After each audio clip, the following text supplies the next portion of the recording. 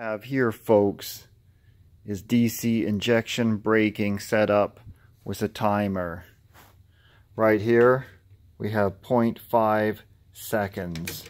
We have our main contactor and then we have our DC injection braking contactor.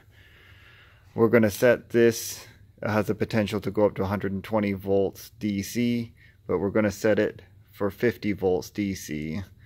We're going to power up this single phase motor with 120 volts.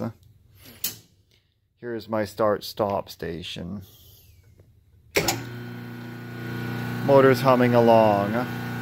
When I press the stop button, motor comes to a complete stop rapidly. I'll do it one more time so you can see the contactors working. As I press the start button, main contactor energizes.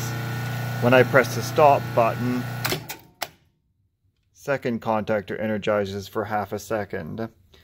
When I press the stop button, I energize the timer, triggering it to, to energize this contactor over here for half a second.